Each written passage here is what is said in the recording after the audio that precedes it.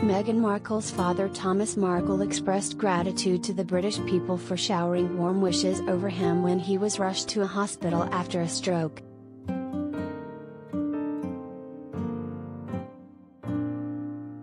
The 77 year old's video was played in GB News this evening, which marked Thomas' first public appearance since his health scare.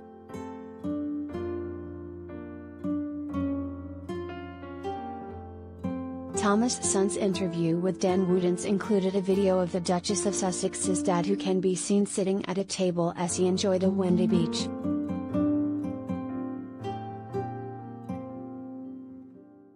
He held a sign which read, Hi Dan, thank you and the British people for the best wishes and goodwill.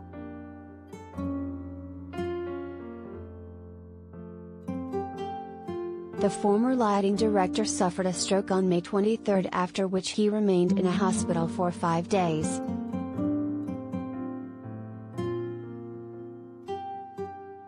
After being discharged from the hospital, Thomas said, I feel hugely grateful and know how lucky I am to be alive.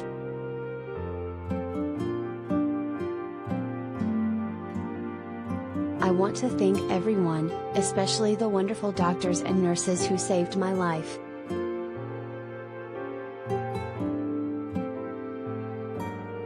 They are angels.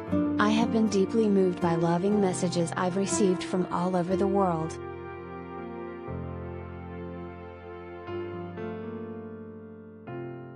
People have been so kind. I can't speak right now, but I am working hard and will thank people properly when I can.